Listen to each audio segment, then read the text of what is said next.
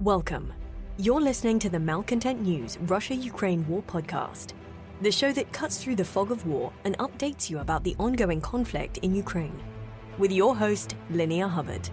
Don't forget to like, comment, and subscribe on Apple Podcasts, Spotify, and Google Podcasts. I'm Linnea Hubbard, and today is Wednesday, April 12th, 2023, and the end of week 59 of the Russia Ukraine war.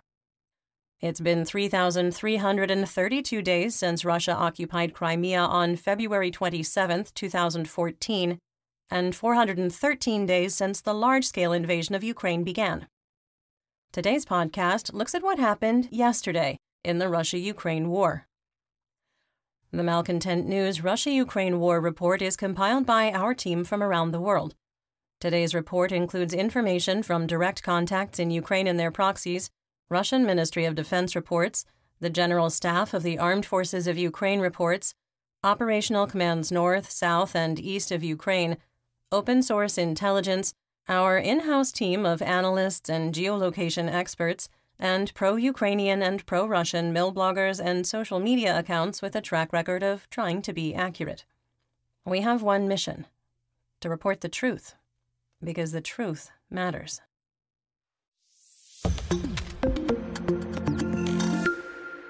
Let's start with our assessment of the current status of the war. First, we believe there is a significant chance of a large scale Russian missile strike between April 12th and April 22nd. We expanded the window after the date for the Ramstein 11 meeting, April 21st, was announced. Second, the Russian VKS and naval forces are experiencing a critical shortage of precision munitions with the Russian Air Force relying on GLONASS guided glide bombs to attack border regions of Ukraine. Third, the Russian Federation armed forces are combat ineffective and have exhausted their combat potential except in the Bakhmut operational area. Fourth, we maintain the Ukrainian defense of Bakhmut has reached its final phase, and Ukrainian forces are executing a planned retrograde operation. Fifth, Russian forces are experiencing a theater wide shortage of non precision artillery munitions, particularly anti tank guided missiles, or ATGMs. Sixth, we maintain that short of using chemical, biological, radiological, or nuclear, also known as CBRN, weapons, the Russian military will continue doing everything possible to capture Bakhmut, regardless of the cost. And finally, Russian white nationalism connected to the Russian Orthodox Church and senior policymakers within Russian President Vladimir Putin's orbit are fueling religious and racial tension.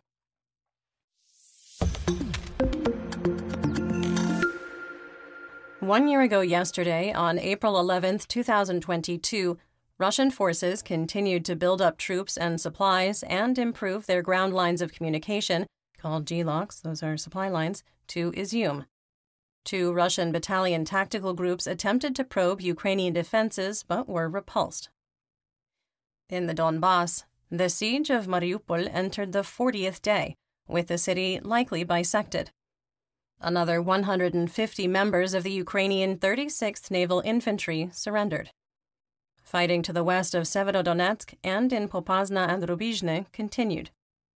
Russian missiles struck the airport in Dnipro, causing heavy damage and Kharkiv was heavily shelled. Russian General Alexander Dvornikov, also known as the Butcher of Syria, was made the overall commander of military operations in Ukraine. There was a purge of the FSB in Moscow with 150 agents dismissed. Kremlin spokesperson Dmitry Peskov warned Sweden and Finland not to join NATO, threatening, quote, consequences if they initiated the process. Ukrainian war crimes investigators found six bodies in a basement in Brovary. All of the victims had been shot in the head. Our analysis determined that 40 Russian battalion tactical groups were rendered combat ineffective between February 24th and April 5th, 2022, after the failed northern offensive toward Kiev. In addition, we wrote, quote, Russia is building up military forces for what appears to be a significant offensive in the Donbass. End quote. Our team estimated that an effective combat force of fresh BTGs with 50 to 60,000 soldiers would be used for the new offensive. Also on this day, the Black Sea Fleet's flagship, Moskva, left the port of Sevastopol for the last time.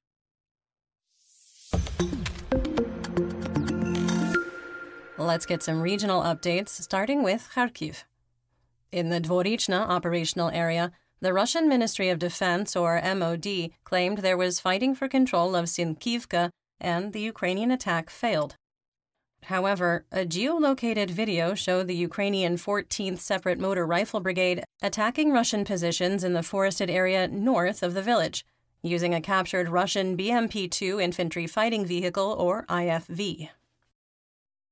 Moving on to the Donbass region in Luhansk. Operational Command East, or OKE, Colonel Serhiy Cherevati, described fighting in Luhansk as, quote, skirmishes with 12 localized clashes. Russian forces reportedly fired 384 shells, mortars, and rockets, and the VKS conducted nine ground attack sorties. These numbers are significantly lower compared to the start of March. In the Svatove operational area, Russian forces attempted to attack Ukrainian positions in Novoselivske from the south and failed. In the Kremina operational area, attacks by Russian forces in the direction of Makiivka failed, with Ukrainian troops counterattacking and recapturing lost positions east of the village. We made a minor map update based on the geolocated information. A Russian attempt to advance west from Nevske and west from the forests around Chervonopopivka also failed. Further south, the situation is unchanged, with Russian forces attempting to advance in the directions of Yampolivka and Terny from the forested areas west of Kremina and continued fighting in the Serebryansky woods. The General Staff of the Armed Forces of Ukraine, or GSAFU, reported continued fighting in the area of Bilohorivka the one in Luhansk, with no change in the situation.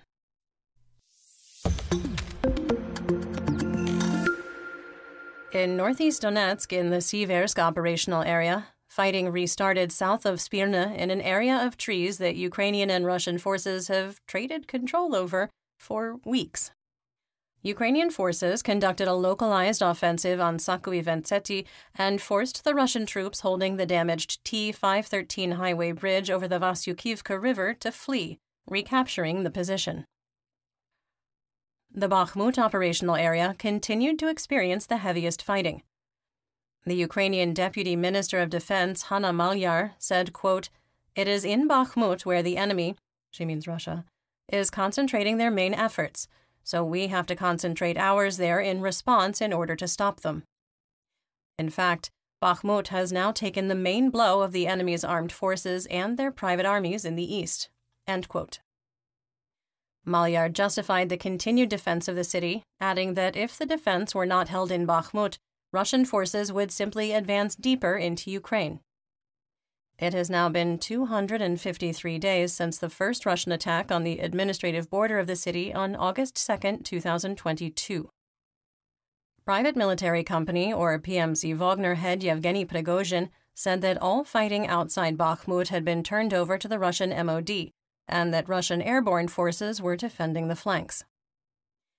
The Russian 217th Airborne Regiment attempted to advance in the directions of Hryhorivka, Bohdanivka, and Chromove but none of the attacks were successful. In the northern part of Bakhmut, Russian mercenary mil blogger Rybar claimed that School 24 was still under Ukrainian control. Fighting continued in the Rose Alley area and a two block strip west of the train tracks.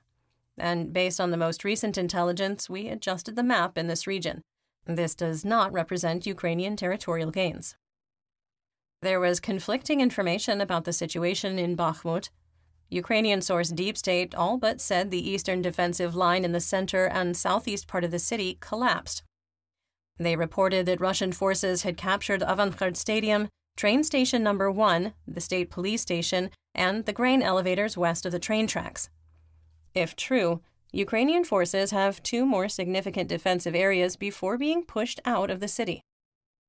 Deep State insisted their information was accurate, writing, quote, be careful when watching the winning insiders who, after our changes, will suddenly start writing the same thing, or will wait a couple of days for a visual confirmation of the changes to appear. The challenge we are having with accepting their version of the situation is visual evidence and multiple Russian reports that don't support that these areas were lost, quote, in recent days. Rybar continued to walk back earlier claims of the state police station being captured, now reporting that an area of homes north of the station is under Wagner's control. Pro Russian photojournalist and propagandist Yarem Shuter shared a video from the SK Metallurgical Stadium showing it was under Russian control. He reported the stadium as a, quote, unfriendly place under direct fire from Ukrainian tanks and frequent attacks with 120 millimeter mortars.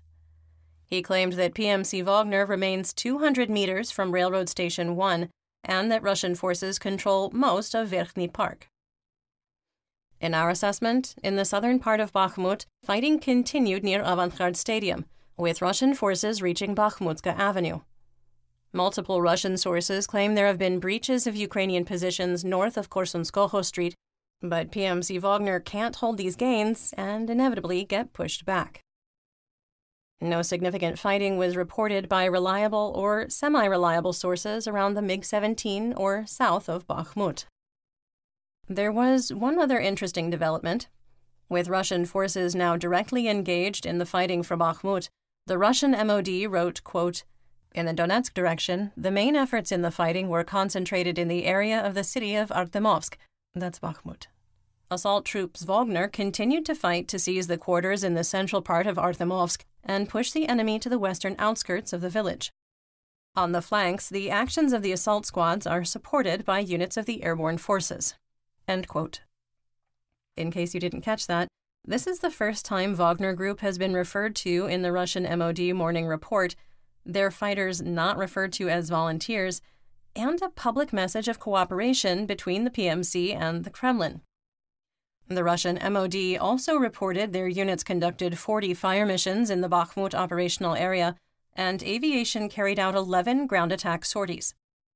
In our assessment, these were surprisingly low numbers. A video showed six soldiers with the Luhansk Territorial Guard holding off PMC Wagner for three hours in a near constant firefight, even becoming surrounded at one point. A fire team broke the encirclement, aided in completing the defense, and forced PMC Wagner mercenaries to retreat. So, this video contrasts sharply with the Wargonzo fake combat video we analyzed last week.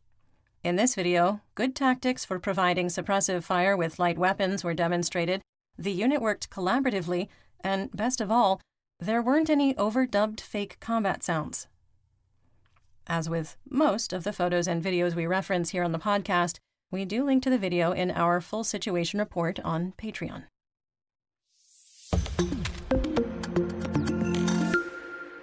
In southwest Donetsk, in the Avdiivka operational area, no fighting was reported on the Krasnohorivka plateau. Retired Lieutenant Colonel Andriy Morozov of the 2nd Army Corps, better known as the Russian mil blogger Murz, blasted Russian propagandist Anna Dolgareva for reporting a glorious Russian victory north of Spartak and Opitne. We've documented through geolocated videos that Russian forces have lost ground and suffered catastrophic losses in this area after a series of failed offensives. Morozov wrote, quote, Anya, that was not a battle, but just another execution. The Ukrainians allowed the BMPs, he actually means infantry fighting vehicles or IFVs, with dismounts to come close. VDV dismounted, went forward. The dismounts were destroyed with mortars and then finished off with small arms. The BMPs burned. No one from the VDV returned. They were just targets in a shooting range. The question about the senseless meat grinder that has been going on for months in the 1st Slavic Brigade, 5th Brigade, 100th Brigade, and other units storming Ukrainian positions near Donetsk, near Avdiivka, and near Marinka has been repeatedly raised. People are already openly talking about it, with these very words meat, meat assaults. Talking about these using these bad words are relatives of those taking part in the meat grinders. Why exactly the 1st Brigade was nicknamed Meat, and the complaints are mainly to the command of this brigade? We are running out of infantry. No longer good infantry, but simply infantry in general. Just infantry to securely hold the positions that we have, on the defensive. In fact, we're almost out, including vehicles. Some assessment here.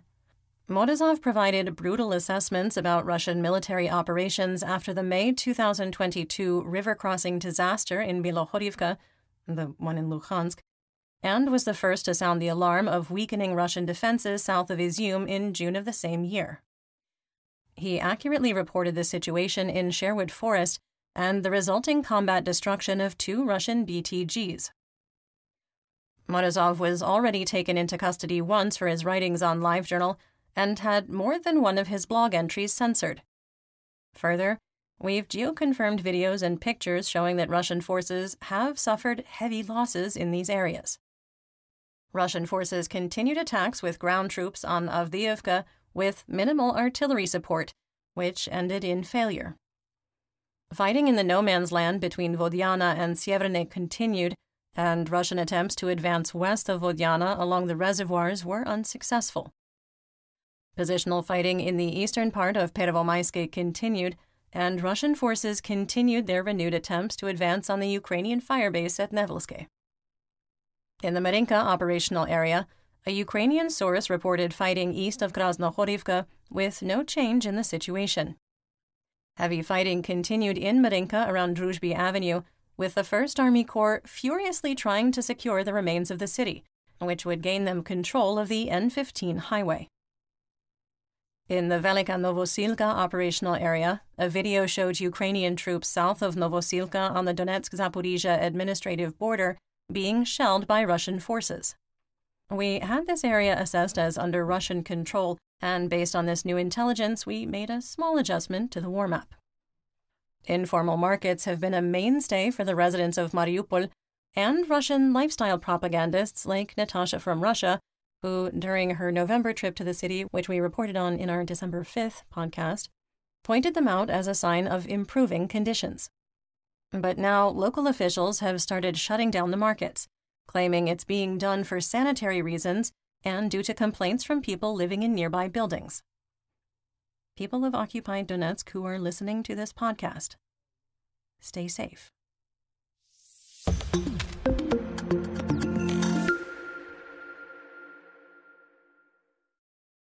This episode is brought to you by KPMG. At KPMG, innovation is the go to state of mind. Their visionary thinkers and advanced technology help you see beyond the now, uncover new insights, and turn them into opportunities. KPMG can help you leverage the value of data and drive transformational outcomes through innovation. To explore their thinking, go to kpmg.us. You're listening to the Malcontent News Russia Ukraine War Podcast. Our team of journalists, researchers, and analysts is funded by readers, listeners, and viewers just like you. To support independent journalism, please consider becoming a patron. You can find us on patreon.com at Malcontent News. Moving on to Zaporizhia. In the Orikhiv operational area, Ukrainian forces made a small advance toward Robotyne, retaking positions lost at the end of March. Russian officials announced that public elections for the governor and other officials in occupied Zaporizhia would not happen. Instead, the regional parliament will choose the new leaders aligned to Moscow in September. There was no update on the status of the Zaporizhia nuclear power plant. In the Black Sea, Crimea, Mykolaiv, and Odessa region, Captain Natalia Khumenyuk of Operational Command South, or OKS, reported eight Black Sea Fleet vessels are on patrol including one Kilo class submarine capable of launching up to four Kalibr cruise missiles. She continued to caution that the risk of an upcoming Russian missile attack is high, but panic is unnecessary, saying, quote, Yes, Russians can gravitate towards such sacred dates. It is enough to remember the Palm Sunday of this year when there was an attack on Zaporizhia, or a blow on the eve of Easter last year. She added that Russian reconnaissance drone activity remained high. In occupied Crimea, Sergei Aksyonov said that the May Day celebrations, the procession of the Immortal Regiment, and the Victory Day parade on May 9th had been cancelled in Sevastopol.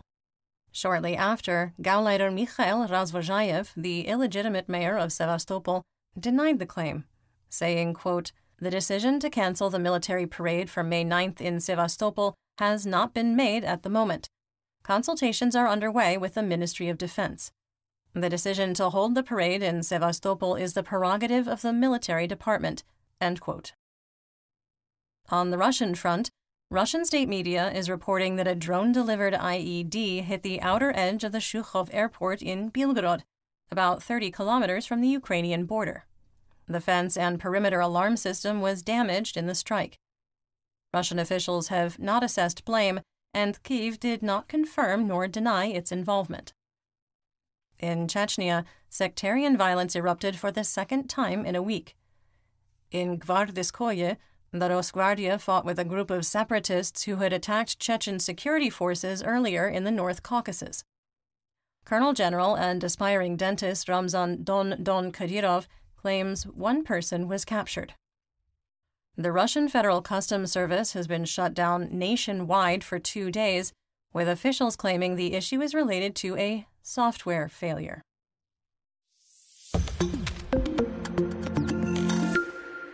Let's talk about developments theater wide and outside Ukraine. The average number of Russian attacks has steadily declined since the beginning of March, from an average of 118 a day from March 1st to March 10th to an average of 52 per day last week. In the month of March, Russian forces captured approximately 71 square kilometers. That is the smallest amount of territorial gains, not counting months where they were on the defensive, since August 2022. The Russian winter offensive captured approximately 341 square kilometers. That's 131 square miles, or an area equal to Brownsville, Texas, for those who prefer to measure in units of Texas. In Bakhmut, the captured Russian T 80 BVM main battle tank, nicknamed Bunny by Ukrainians, with 24 confirmed kills, including up to half a dozen tank on tank, met an inglorious end. Bunny was originally part of the Russian 200th Separate Motor Rifle Brigade and was captured on March 2, 2022, put in service with the Ukrainian military a week later. In Bakhmut, however, Russian General Rasputitsa put a firm grip on the celebrity MBT, and there was no way to recover the vehicle. To be clear, General Rasputitsa is the mud, and Bunny was very thoroughly stuck in the mud. Without a Ukrainian farmer and a John Deere tractor in sight, a decision had to be made. Instead of abandoning Bunny and risking having it fall back into Russian hands, the T 80 tank was destroyed in place by combat engineers. Ukrainian President Volodymyr Zelensky held another meeting of the Stavka, which is the staff of the Supreme Commander in Chief, and provided a public readout. In his nightly address, he warned against having two Ukraines, with one part battered by war and the other returning to some degree of pre war normalcy, saying, quote, We are now at such a stage of the war when it is important for our society and partners not to lose a sense of the path we have to take. That's the way, the path ahead. Compared to last year, many places are quieter now, but this does not mean you can ignore the war somewhere or be less focused on helping the state. We managed to do a lot together with our partners to protect people, Ukraine, and the whole of Europe. But this does not mean that now is the time to rest on our laurels. The way is ahead, the movement is ahead, something for which we need no less unity than before, no less focused than before. In the same way as before, our positions at the front, all our soldiers at the positions, must be supported by Ukrainian positions politically and informationally, by the power of arms and the power of our social unity, by our internal stability and the strength of Ukraine's ties with the world. And this is the task of both the state and everyone in the state, both of Ukraine and everyone in the world who values a free life and an international order based on rules. It is unreasonable to just passively hope that someone else will bring victory, the one who is now in the trenches, who is now in the assaults. This is a joint task. Victory is won by all. Our analyst team noticed an uptick in requests for blood donations across Ukraine, despite the overall reduction in fighting theater wide compared to six weeks ago. We can't assess if there is a supply issue or if Ukrainian officials are starting to build up a supply in preparation for the widely anticipated spring counteroffensive. Whole blood has a shelf life of 21 to 35 days, depending on the anticoagulant used during donation. If this is increasing the supply to support battlefield medicine in the future offensive, it hints that the start is 15 to 30 days away. United States Secretary of Defense Lloyd Austin announced that the Ramstein 11 contact group for the defense of Ukraine would be held virtually on April 21st. The main topics included air defense, armored vehicles, 155mm ammunition, and electronic warfare systems. Canada announced it will provide Ukraine with 21,000 assault rifles, 38 unspecified machine guns, and 2.4 million rounds of ammunition. South Korean publication Donga reports that Washington and Seoul have agreed to an arrangement to, quote, loan 500,000 155mm artillery shells. South Korean law forbids selling or sharing ammunition with any nation at war, but in a tripartite agreement, the South Korean ammunition will replenish United States stocks. In theory, this would enable the United States to provide 155 mm ammunition from its strategic reserve and would replenish its own inventory and South Korea's as peacetime war production increases. An unnamed South Korean official said, quote, After finding a way to respond in good faith to the request of the United States, our blood ally, while adhering to the government principle of not providing lethal weapons to Ukraine, we decided to provide them in a rental manner instead of significantly increasing the supply of shells. There continues to be rampant speculation and analysis of the leaked Pentagon documentation. We maintain our editorial stand that we will not engage in speculation based on the content of those documents.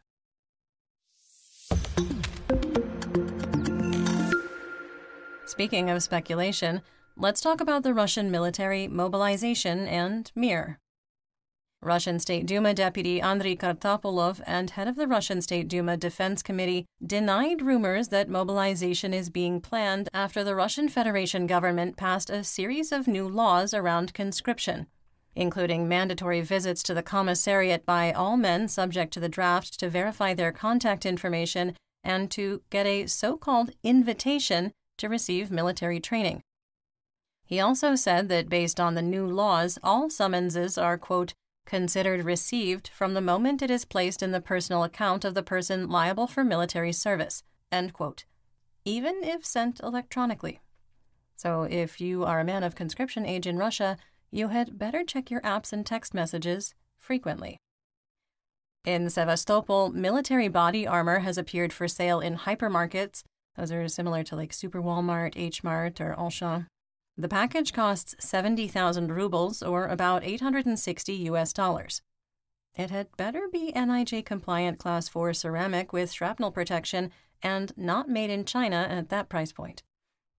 Retired Lieutenant Colonel Morozov had a concluding paragraph to his rant about the situation in Avdiivka, which painted a grim picture of Russian readiness for a Ukrainian counteroffensive and the future of the Putin regime, saying, quote, And then there will be the Ukrainian offensive. How will you be telling about it, Anya? How will you explain why the front rolled back so sharply to the east? How will you explain to people why, having wasted one wave of mobilization for meat quickly enough, it is necessary to waste the next one even faster? How to throw men caught all over the country who cannot hit anything with a machine gun under the roller of fresh Ukrainian reserves brought into battle? How will you explain to people that there is no need to overthrow the bloody regime which sent them into slaughter and ruined their relatives and friends for nothing? That's actually a really good question, Anya, and I would love to hear your answer. Because it's starting to feel like Lieutenant Colonel Morozov maybe doesn't think that everything is going to plan.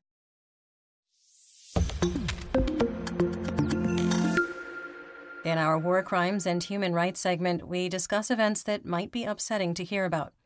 There is graphic detail in today's report, so please feel free to skip ahead to the next segment. Timestamps are in the description. Two videos are being widely shared on Russian social media and spilling over into the Ukrainian information space of Ukrainian soldiers being beheaded or just after being beheaded by PMC Wagner Group mercenaries or other Russian aligned troops. The first video we were aware of was released around April 8th and shared on a Telegram channel we monitor. That video, which CNN claimed is not publicly available, shows two Ukrainian soldiers next to a destroyed M113 armored personnel carrier, or APC, and a laughing Wagner mercenary saying, quote, They killed them, someone came up to them, they came up to them and cut their heads off. End quote. The two soldiers had their hands removed also. The incident reportedly happened in the Bakhmut operational area, and pictures appeared the next day of a head that had been impaled on a tree branch in the city. The second video was filmed last summer with the geography unknown. In that video, a live and conscious Ukrainian prisoner of war's head is cut off, slowly, with a dull knife. The video, even among our experienced authentication team, is almost unbearable to watch and is being celebrated on Russian social media. The POW screams in pain with one of the executioners saying, quote, Get to work, brothers. Break his spine. F have you never cut off a head? End quote. The head is then held up to the camera, and the soldiers suggest sending the head to the murdered soldier's commander. This is the second execution of a Ukrainian POW released on Russian social media channels in less than two months. The head of the Security Service of Ukraine, Vasyl Malyuk, did not mince words, saying, quote, We will find these inhumans.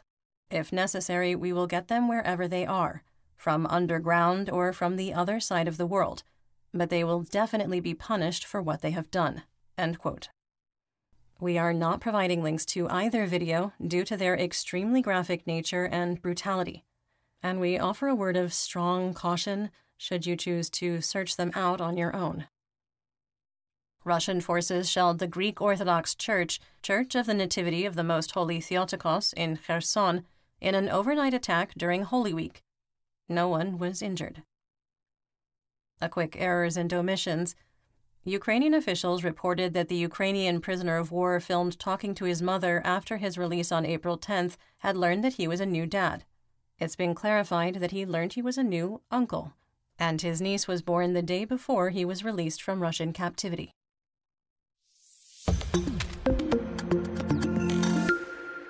In economic news, Russian leaders have implemented an unofficial blockade of grain vessels transiting the Black Sea as part of the Russian, Ukrainian, Turkish, and United Nations grain initiatives.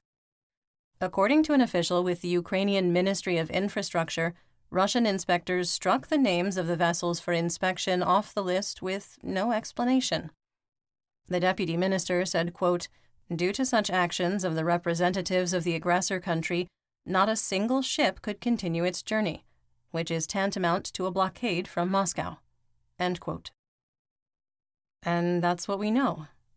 Join me again tomorrow for more updates. Until then, stay safe, everyone. You've been listening to the Malcontent News Russia Ukraine War podcast. To help keep us independent, please consider providing financial support by becoming a patron. Want on demand news in your hand? Download the Google News app and make Malcontent News one of your favorites to receive breaking news updates. Thank you for listening.